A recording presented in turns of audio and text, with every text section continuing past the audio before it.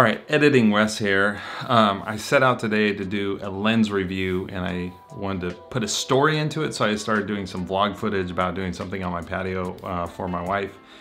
And um, it became two videos. So what you're gonna see here is a vlog and um, I have to do this. I have to do this for a couple of reasons. One, um, I'm too much of a perfectionist and I don't, um, I let that get in the way of creating content. So I'm gonna challenge myself to do uh, one vlog a week and a regular uh, YouTube video with tutorial content, product reviews every week. And the vlog is to help me get into filmmaking and embrace that and just enjoy it and just tell a story. Um, and of course I'm gonna relate it to photography and of course I'm gonna be using the Canon EOS R and those things. As I was editing this, it was fun to edit, I love editing, but I also wanted to provide value. And so as I was editing it, I was like, there's a lesson here about photography and I wanna share it. And the lesson is you are choosing a tool for a specific purpose. A lot of times when you pick up your camera um, or you're thinking about buying a new camera, a lot of people on the channel um, wanna know about, should I spend my money on this camera or this lens?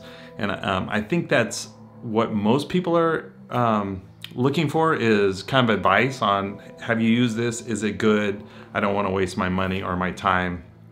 And so what I've found is it absolutely matters what tool you pick up.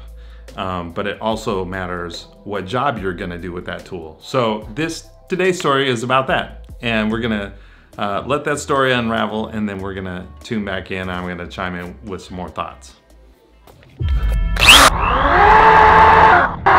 Have you ever been faced with a task that's seemingly simple, Guys. seemingly straightforward, Look at that. That is crazy.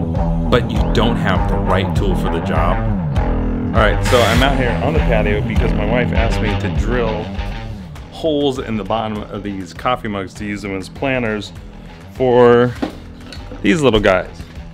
So see those guys? So those are gonna go in these, but they need to be, um, they need to have a little hole in the bottom.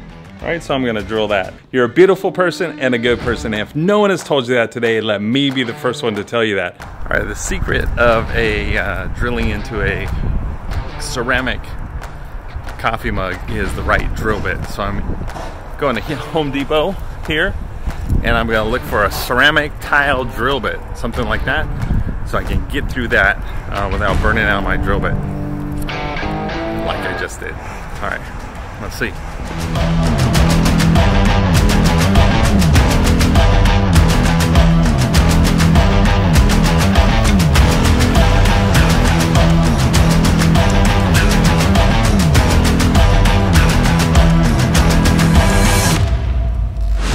All right, I am not a DIY guy, but this seems like something I can do.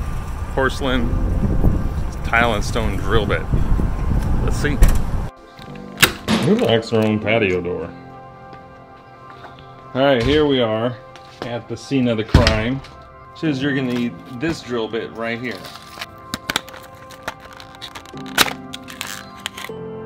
Look at that little guy. All right, I did not learn this on my own. I actually Googled it and I looked up on YouTube a video called How to Drill a Drain Hole in a Ceramic Mug on a YouTube channel called Garden Answer. Shout out to Garden Answer. And so some of the steps you need to do is put a um, X of masking tape on the bottom of the mug and then you're gonna start drilling at a 45 degree angle. And as you drill, you're gonna move the drill upward to a 90 degree angle. And then every once in a while, so the uh, bit and the mug don't overheat, you're gonna spray some water on it to cool it down. And there you go, that's it.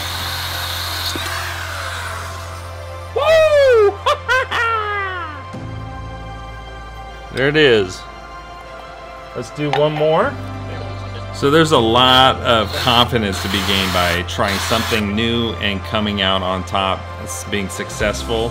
And so I just encourage you to, um, you know, let go of fear and try something new and um, see what you can do. Um, this DIY project for me represents um, something I wasn't able to do before. And uh, simple as it seems, if I have the right tool, that's a long way towards being successful.